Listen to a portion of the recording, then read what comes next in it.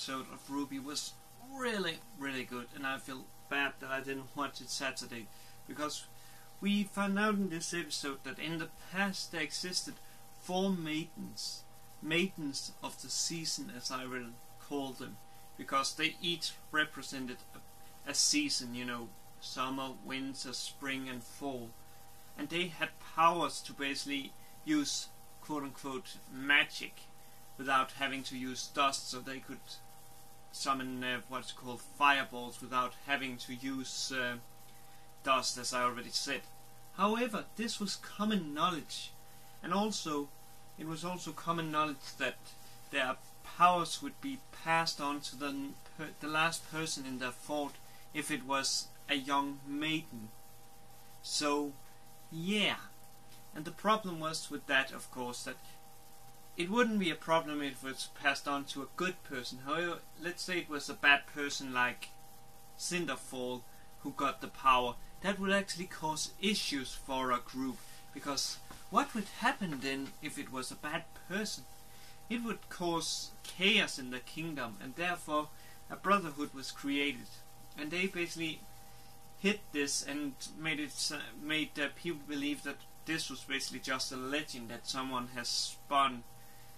And today that is what people believes. And therefore I have a theory that guardian is just a term that Ozpin, we, uh, what's called Qrow, Ironwood, and Goodwitch uh, is using to basically uh, refer to the maiden of the season because we find out that one of the maidens of the season, Amber, has been attacked and she is basically dying from what I can understand.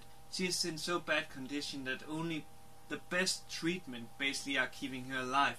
But when that is turned on, she or turned off, she will die. She will die.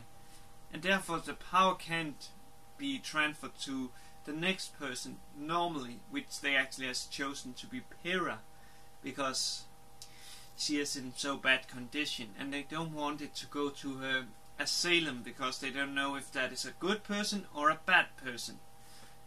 So yeah, and the way they are planning to transfer it to Pyrrha is basically by linking her, linking Amber's aura to Pyrrha. However, because this has never been done before, they don't know how it will affect Pyrrha. And if she, let us say, Amber is to die, would that mean that Pyrrha would die? Would uh, Pyrrha get affected, you know, physically, like getting the same scars as Amber has? They don't know, and therefore they give her a time to basically think, is this what she want to do? So yeah, really interesting setup, and I'm looking forward to seeing who the three other guardians or maidens of the season is going to be. I'm pretty sure Ruby is going to be one of them. But also another interesting thing is the fight between Mercury Black and Yang. Because Yang, she actually wins this fight, and I must say it's impressive. And it seems like there is a ring out rule because when what's he called Mercury Black is like almost thrown out and hits the ground, he basically uses his bullet shoes to basically create enough uh, what's called kinetic energy to fly back. But this is not the interesting part because when he loses, he says there will not be a second time and attacks Yang. And Yang's she of course defends herself by hitting her leg. And people is shocked. And I was like, yeah, I can understand that because seeing a a person that lost attacks, that is kind of crappy. But then we see the recording, which shows that Yang actually just attacked him without any reason. So, what is up with that? Or, actually, I have a theory. I think that Cinder Fall has messed with the recording so it shows Yang attacking her, while in reality, it is actually not Yang, you know, let's say like those that was at the place, they actually saw what happened.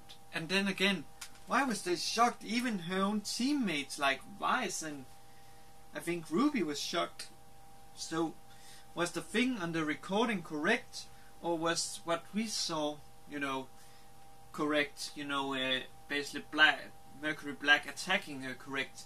I really wonder. I really wonder. And that's gonna be so interesting because it looks like Yang is in big trouble because she attacked her opponent. And this man, oh man, this can be really bad for Yang. So, man, I'm really looking forward to seeing what will happen. And with that, have a good day, good night wherever you are, and I will see you later, guys. Cheers.